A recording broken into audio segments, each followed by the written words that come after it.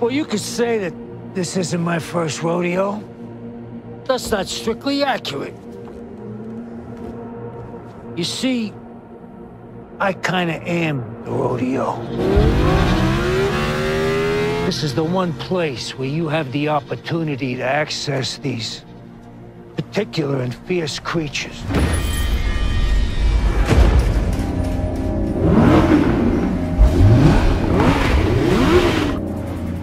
Crucible, Coliseum, Proving Ground. These cars don't care if you're chief executive officer, majority shareholder, or master of all you survey. You know, we speak one language here, speed.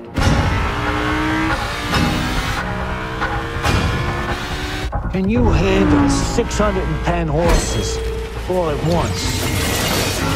Together when you're flying the length of a football field in a pair of sweet fleeting seconds.